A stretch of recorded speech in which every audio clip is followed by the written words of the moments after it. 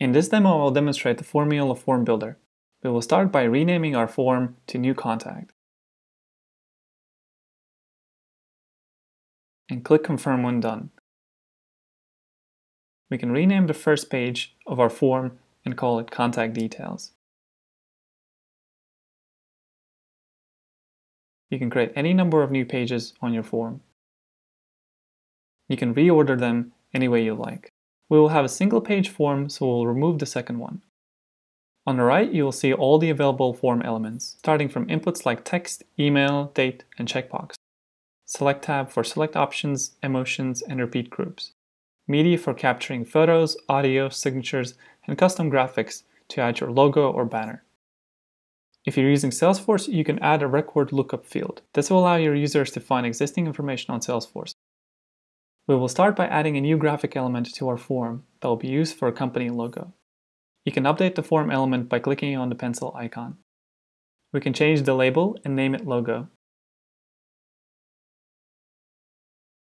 Here we will choose the file that we want to use and reduce the size of the logo. Confirm changes when done. Now we can see the logo on our form. We will add a text input where we can record the new contact name. Clicking on the pencil icon will allow us to update the label and make this field required.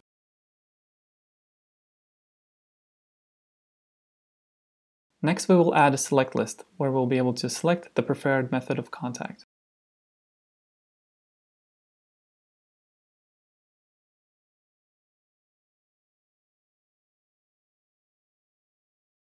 Here we will add email and phone as the two select options.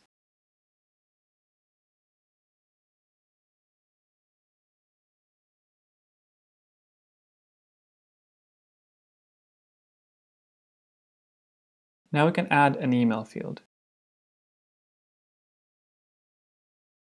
Rename label to email. You can control form element visibility by selecting the controlling field. These can be select lists, checkboxes, and Salesforce lookups. If email is selected, this field will be displayed. Click Done and confirm the changes.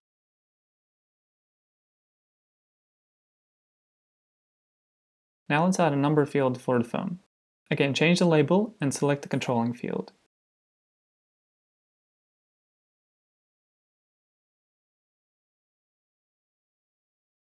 If this is selected, this field will be displayed.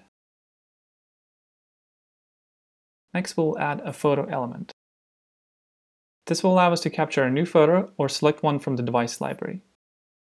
We'll update the label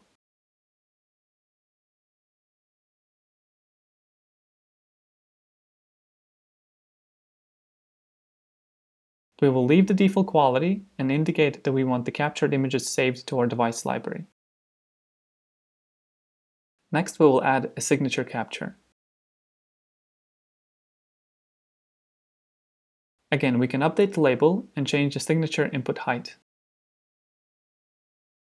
As the last element, we will add a Salesforce lookup field. This allows us to search for existing records on Salesforce.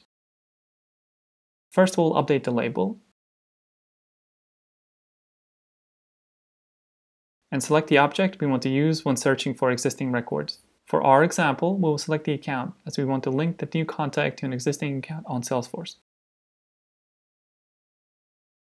We can change the lookup button appearance and label.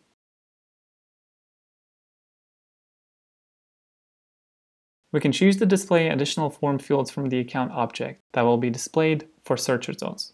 We will add name, billing city, and industry Please make sure these are valid Salesforce field API names. You can update other options like record ownership, add filters, sort results, order them, and more. Before we save our form, we will update the form settings. Here we can add a description that will be visible to our mobile form users.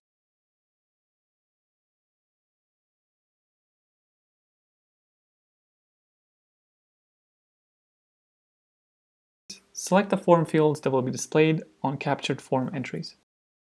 We can enable auto repeat that will repeat the form entry after every submission. This is useful for public forms and to make sure users accidentally don't switch between forms.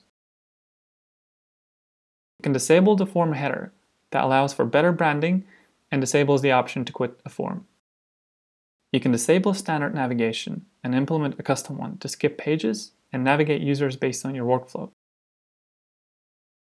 Now we will save all the changes and complete the form. Here we can see the form on a mobile device as it will appear to your users.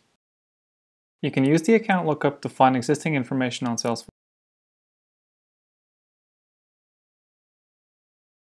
And use the select list to control the dependent email and phone fields.